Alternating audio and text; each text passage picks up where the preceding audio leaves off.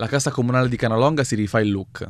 Sono stati assegnati per l'anno 2019 ai comuni contributi per investimenti per la messa in sicurezza di scuole, strade, edifici pubblici e patrimonio comunale, nel limite complessivo di 400 milioni di euro. La somma che sarà destinata al comune cilentano è di 40.000 euro, perché con popolazione inferiore a 2.000 abitanti, come stabilito dal decreto del Ministero dell'Interno. In ragione di ciò, entro il 15 del mese di maggio 2019, il comune di Canalonga, retto dal sindaco Carmine Laurito, dovrà iniziare l'esecuzione dei lavori per la sua messa in sicurezza.